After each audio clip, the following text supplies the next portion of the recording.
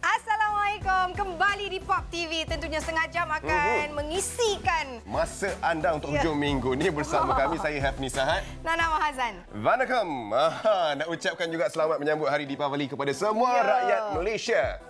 Kerana tak lambat lagi semalam kan di Pavili? Ah ya, semalam. Ah, saya Ah. pun memang sakan beraya juga. Ah, eh, kenapa pula? Eh, oh, sebab saya- satu sebab, Malaysia. Ya, satu Malaysia. sebab suami saya punya keluarga. Okey, tak apa. Tapi kita ada dua penyanyi yang akan jadi tetamu jemputan di Pop TV malam ini. Nak Ya. tahu siapa Hmm. dua-duanya penyanyi? Dua-dua tak available. Itu yang geram tu rasanya.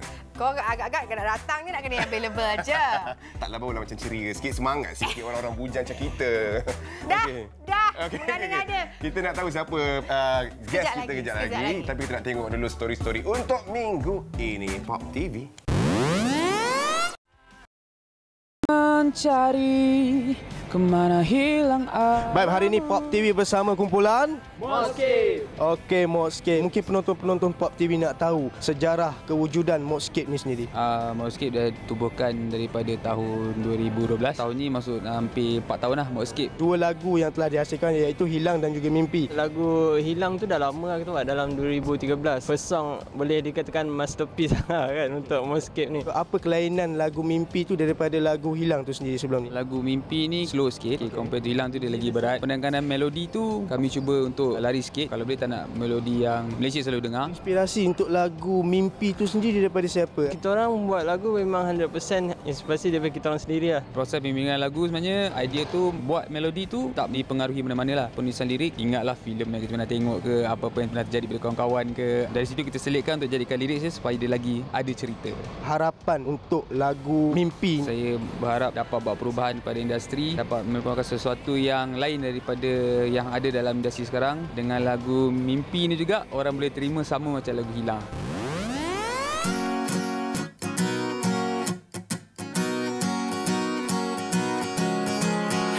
Melihat sendiri Bang Fish daripada dulunya sampai sekarang ni. Dalam 10 tahun ni, apa perbezaan yang kita dapat saksikan daripada Bang Fish? kematangan lagu tu yang telah dicipta oleh Sam berubah mengikut umur.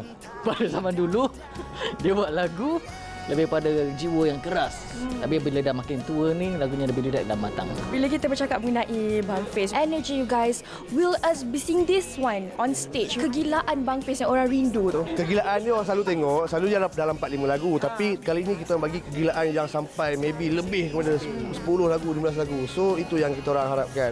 Dan konsert ni adalah konsert melambangkan Bang Fiz dah establish, melambangkan Bang Fiz nak appreciate kepada crowd kami, pada pada bandmate saya nampak ni ah. CFO. CFO lah. Okey, ah. Inilah kami. Apa yang bakal kita saksikan untuk konsert? Tunggukan kita orang punya update Official teaser Kita akan keluar Vibe yang kita nak sampaikan malam tu Oh, dan ada merchandise mana yang kita orang mana beli tiket yang mahal sikit ada lah. Best sikit. Ah, macam tu lah. Untuk konsert ni kita akan bermain lebih pada 10 lagu InsyaAllah lebih pada 20 Atau tempat di Stadium Chin Wo Kuala Lumpur 24 Disember ini Kapasiti boleh masuk 5,000 orang Dan pastikan 5,000 orang datang juga Brand Brilliance mempersembahkan Pengembaraan Rimba Bara kembali lagi. Kereta tu bukannya abang create ya. Kita buatkan satu kereta, kita biarkan dia berkembang. That's why dia jadi lain. Peringkat skrip ya, kita dah tak tahu dia ke mana. Sampailah ke lakonan di set. Oh, dia macam ini. Ah, so that's the magic of making Rock Bro. Kami banyak berbincang dengan kami pun tak tahu dia hala ke mana. So that's why yang you tengok tu is so fresh. Rockers ni survivor. So abang harap apabila menonton tu faham kenapa setiap kereta tu sangat berlainan. Saksikanlah Rock Bro pasti terkejut. Memang Rock 3 ni dia lebih personal. Setiap watak tu dia tutup. Kita boleh berakhir dengan macam-macam cara. Saya personal per, secara pemain saya puas hati lah. Sebab watak tu range dah jadi besar. Sila bawa pengurus. Kita mana ada pengurus? Reporter hari ni. Faham pun tak? Watak Jijo, watak Slash, watak uh, Black, even Zulkapan. Kenyataan tu. Bayangkan dia daripada sekeras-keras metal pergi.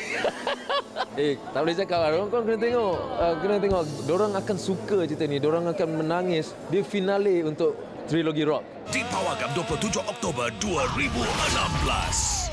Last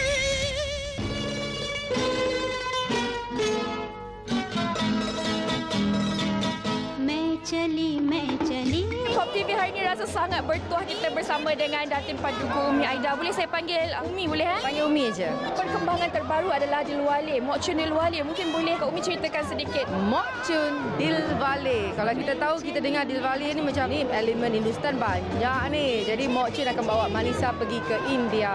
Tim Mok Chun ajak penonton semua datang untuk bawa ke India sekali. Bila-bila nak cerita pasal Mok Chun Dilwale ni tak nak sebab apa yang Umi boleh nyatakan dan confident dan pasti kalau sesiapa yang stres, you beli tiket, you datang tengok hilang stres you.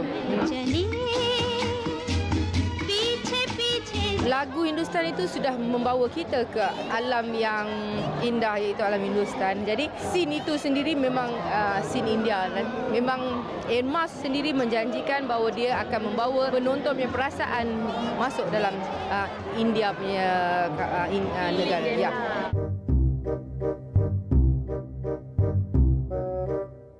Selalu tahu dapat bersama-sama dengan uh, Kak Umi daripada dulu sampai sekarang memang sentiasa kekal cantik, kekal berseri. Kita nak tahu tips. Berikan tiga tips untuk cantik dan berseri macam Umi Aida. You have to discipline yourself, kan? Disiplin pada uh, Allah, uh, tanggungjawab kita padanya dan juga disiplin pada diri kita. Hubungan sesama manusia Uh, jangan ada hasad dengki dan juga saya suka membaca buku motivasi.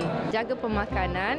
Uh, kalau boleh puasa Isnin dengan Khamis tu uh, itu the best uh, untuk menghilangkan toksik dan menjaga kesihatan. Uh, makan ini uh, memberi 90% mengundang penyakit yang tidak bagus. Jadi uh, pemakanan exercise dan hati kena sentiasa positif dan bersih. Jangan suka dengki-dengki antara satu sama lain. Nah, itu. Nak pesan Umi Aida, jangan dengki-dengki. No, no, no. No, no, no. Itu dia tips kecantikan daripada Datin Paduka Umi Aida. Ya, kalau nak cantik senang, kita hati kita jangan busuk. Sebab kalau hati kita busuk, kita tak baik dalam ni, kat luar pun tak cantik. Saya setuju. Setuju. Setuju. Dan kita ada di studio ni, kita ada Indah Royla. Sebulat suara, sebulat suara menyokong Dan dan, juga- bersetuju dengan Yes. Nah, tapi setuju-setuju juga cara Nana cakap tu macam dia nak sampaikan kat seseorang dia tak puas dengan sesiapa ke sekarang ni? Tak ada. Oh, tak ada, bukan? Saya memang sangat suka suka uh, perkataan Yelah, tu hati busuk. indah tu. di dalam, Lain indah macam kan, lah di luar. cakap. Betul, betul. Saya setuju dengan abang yang asing kita ni. Kita nak tanya Ah, dulu. ah, nak Kenapa tanya. sebenarnya Aduh. mereka Ah. berada di sini? Itulah saya ada single baru uh, dah sebulan untuk promote nama dia Music uh, saya promote dengan Warner Music. Uh, Na- Nama single ni Music? Music. Nama lagunya? Nama lagu tu Wow. Music. Simple sahaja. Saya baik, menceritakan tentang Music. kecintaan saya kepada muzik. Nampak? Tak payah nak susah dah panjang-panjang selama-lamanya. Ya, aku pula terasa. Indah juga ada single terbaru. Okey, tajuknya? Semua untuk cinta. Ah, Panjang tak? panjangnya. Panjang kan? Untuk cinta. Okey, semua. Semua untuk cinta. Ceritalah sikit. Ni lagu Okey, apa? lagu Siapa buat? Keciptaan Hil Husaini dan juga Ezra Kong. Macam Abang Yasin, kita kalau kita tahu kan rasanya dah cukup lama dah Abang Yasin tak datang ataupun tak kembali dengan album ataupun single. Dan katanya ada sedikit kebimbangan bila nak keluarkan single ni. eh?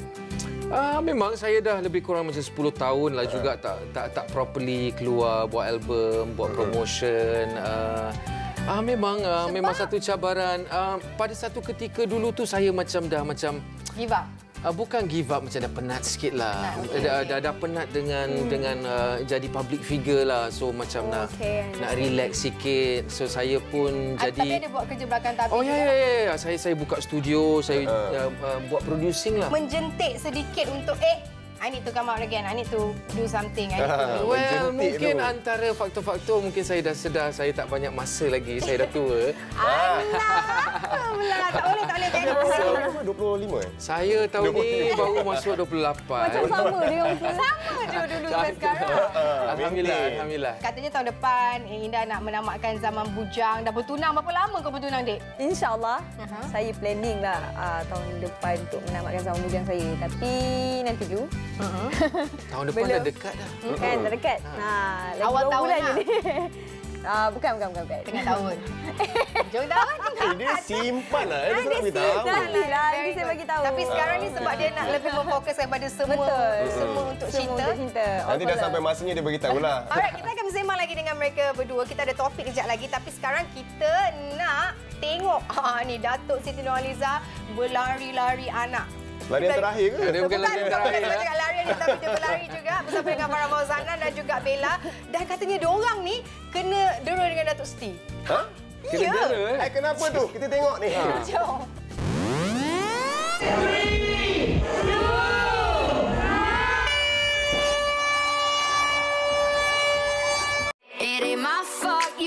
Kami uh, mengadakan larian Ariani Hijab yang mana dihadiri oleh lebih kurang 5,000 peserta. Pada hari ini juga kami melancarkan Ariani Active Collection. Saya rasa sangat selesa dan kualiti dia. Dia sejuk, dia very light, stretchable. It's a very good accomplishment Ariani melancarkan Ariani Active Sportswear ni. Saya bagi tahu kepada semua yang telah berada di bahagian kawasan larian, mak tiri dah keluar. Itu adalah mak tiri yang sebenar ya. Tak that's the beauty. What you see is what you get. Farfazana macam ni lah. Kat luar kat TV macam ni lah.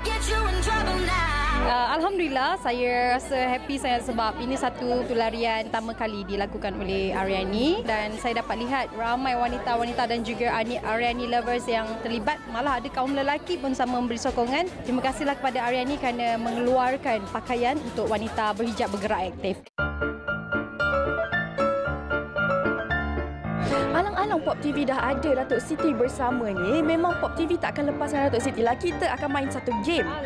Hari ini Datuk Siti berhak untuk mendenda Bella Daily dan juga Farah Fauzana. Oh ya ke? Boleh?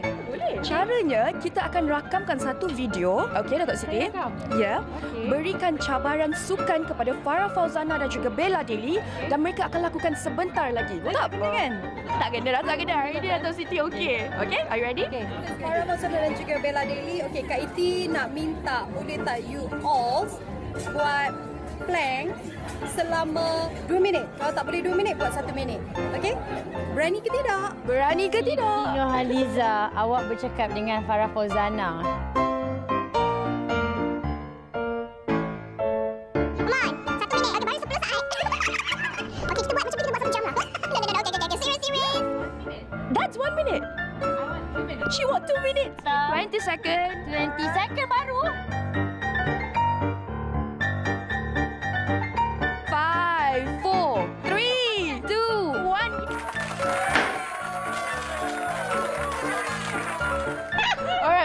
Thank you so much.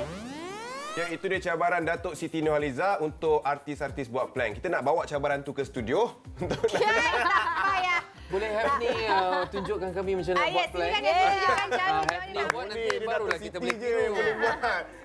tak tak kita kita ada topik sebenarnya nak bincang. Okey, nampak dah. Ah, dia cepat dia. Dia dia. Dia yang takut nak cabar. Masih lagi bersama dengan Yasin dan juga Indah Rohaila. Kita nak cerita pasal viral ni. Kalau kalau kita tengoklah now teknologi uh, kita boleh tengoklah cara positif, cara negatif dan sebagainya dan sesiapa saja yang diviralkan tak kisahlah artis orang biasa dia mesti akan top famous terus bombas kaya raya. Wow. What do you think about it? Kalau viral benda-benda yang bagus pasal kita okey lah. Kena kalau viral pasal kita jatuh longkang macam Tapi masalahnya Memalukan. benda-benda yang diviralkan tu mesti benda-benda yang tak berapa macam tu kan okey. sebab itu Ha. yang orang suka kan. Ya, exactly. Ha, itulah. Sebenarnya dekat uh, laman sosial kita kan dah berlambak-lambak dah video-video yang orang buat untuk diviralkan. Yeah. Uh, dan kadang-kadang benda tu tak mendatangkan faedah apa-apa pun. Yeah. So macam mana Indah rasa? Kadang-kadang benda yang Indah tak expect macam, ai benda ni pun boleh viral ke? Kan, macam kan, aku Tapi aku itulah. penat menyanyi tertegang bukan. tak viral-viral juga video klip aku gitu Itulah, kan. nak buat macam mana? Mungkin kita pakai macam badut, nyanyi. ah, kan? Mungkin lah kan. Kalau kita tengok keadaan viral ni, kita memang tak boleh control. Mm-mm. Uh, like ya, Abang Yasin said, benda tu akan terjadi bila someone picked up and they said they thought that benda tu menarik, benda tu patut di-share. Bila someone share, share, share, share, share, dah jadi Nama banyak. jadi virus. Ah, viral menjadi virus. Betul, betul, betul. betul, betul. Kalau viral ni dia, dia hiburan lah. Bendanya uh, Boleh buat orang kontennya tergelak. hiburan. Hmm. Dia dia bukan nak cakap- A benda tu educational ke. Tak. Tapi tak dinafikan uh, walaupun uh, benda tu entertainment kadang-kadang banyak budaya yang kita secara tak langsung boleh belajar daripada benda tu. Nasihat daripada uh, Yasin sendiri dan juga Indah sendiri. Kalau untuk orang-orang yang tak nak diviralkan ni tapi diviralkan. Makin lama sekarang ni benda yang viral pun dia tak akan boleh survive lebih daripada sehari atau dua lah. Ah, People sebab terlalu banyak konten, terlalu banyak benda yang berlaku seharian. Ah, so lifespan benda yang uh, viral tu pun mungkin akan seketika. Je. Macam cuba ingat Bila beberapa lagi tahun dulu. lain, dah lupa. Ha, lupa. Hmm. Macam dulu kita ada Gangnam Style. Eh. Okey, Lama betul. kan Kan. sikit kan. Ah, tapi Betul, bila lama. pineapple ni dia macam Eh, pineapple pun sekejap je. ah, sekejap sangat. Pineapple Ah. sekejap Kan, dah tak musim sangat Ah, pineapple tu. Sebab benda konten dah banyak, banyak sangat hiburan online uh, Kita nak jadi kena buat sesuatu juga untuk diviralkan. Tak, Eh? hari ni saya dah nampak Ah, dah. jom kita lakukan Okay, sesuatu on the show agar Hari show saya dah nampak dah.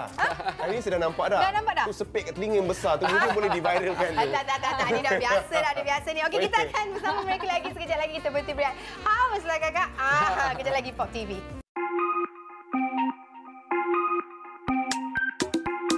My name is Nana. Nana. I do this uh, TV show called Pop TV. Okay. That's difficult. I'm still stuck on that one. I think it's beautiful. Doctor Strange. You think you know how the world works? If you get to choose your own superpower, what would it be? Uh, telepathy. I would love to have the power to read people's minds at will. You know what? But I would need to be able to turn it off because I would not Yes, respond to yeah, people's yeah, minds. And yeah. it'd be, it'd be kind of invasive, but to be able to, have to, to use it at critical moments Mhm. is wonderful. Is it hard to act in that outfit? Can you see from from, from that movie? The outfit like so no, thick, it's you know? really comfortable. Really? Really comfortable. It's like kind of glorified pajamas, which is my favorite favorite thing Right. to wear. If there's one thing you can keep from the character or from the movie, what would it be? I, w- I think my house. I think my camotage, my amazing sanctuary. The Eye of Agamotto. You're a man looking at the world through a keyhole. This is the first movie you acted uh, as a superhero. Yeah, Uh, how do you like it? You like I it? I loved it. I really enjoyed it. Yeah, I, uh, more please because um, it's fun. You get to do lots of physical hijinks, whether Mhm. it's acrobatics on a wire or fight scenes or just the training for all of that. And uh, at the same time, it's it's a really challenging role. It's a Mm. great drama about a very very unusual Marvel hero. Do you do any of martial arts in real no, life? No, no, not at all. No? So this is a very steep learning Are you gonna continue doing it? I mean, No. yeah. I mean, as this character for sure. Um, you know, will uh, John Woo be calling me for his next film in Hong Kong? I don't know, but um, it's. Uh, listen, you don't I, mind trying? I had a great time, but I'm a 40-year-old man, so I'm, I'm no, uh, I'm no spring chicken, and I'm, I'm very aware of my physical limitations. All right, can we do a quick trivia? Three question. You need to choose either Oh, beautiful a or yeah, Uh, beautiful, sexy. Are you on That's beautiful? difficult. I'm still stuck on that one. I think beautiful. I think beautiful. yeah. Okay. New York or London? Oh, London. I'm born and bred London. Yeah, I Okay. have to be loyal to my city. Difficult though. I love New York. Chinese food or Indian cuisine? Oh hell! Now you're just to pit one load of fans against another. No, no, it's it's, it's just food. It's not nothing gonna do. Indo-Chinese food. In, okay. There you go. All right, thank you so much. Okey, itu dia sambungan perjalanan Nana Maza di Hong Kong untuk interview Dr. Strange. Ha, dan saya rasa sangat beruntung sebenarnya sebab di studio sekarang kita ada The Ancient One daripada Dr. Strange. Bukan eh? Tumak muka kau nanti. ya. Tak, gelak macam tu tu saya risau tu kak. Jangan bawa keluar eh.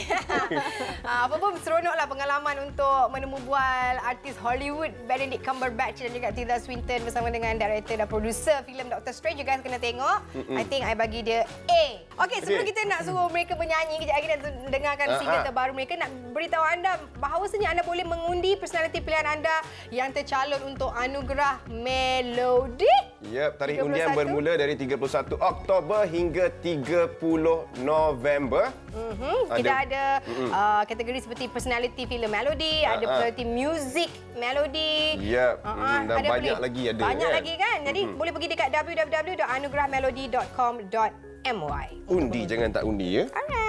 Okey, sebelum tu seperti Sebelum- biasa. sebelum biasa. Ah, ya, ah, ya, kita kita kena kan ambil nak gambar dulu. mengabadikan. Jadi kita dah ambil gambar tadi dengan guest kita. Mana gambar yang tadi? Ah, pakai kamera tu ambil gambar je ataupun daripada telefon pun boleh, terus print, pun Print boleh. saja Ah, terus ah. dapat. Okey, dan Hmm. Right, thank you so much. Terima kasih kena ucapkan kepada tetamu kerana sudi datang dekat uh, rumah kita kat sini. Thank you so much. Terima kasih juga kepada anda yang telah pun menonton selama setengah jam bersama saya Nana Mahazan. Dan saya Hafnisa jangan lupa follow perkembangan Pop TV di Twitter, Facebook, Instagram at Pop TV 9. Sila follow ya. Kita jumpa lagi. Bye-bye. Assalamualaikum. Muah.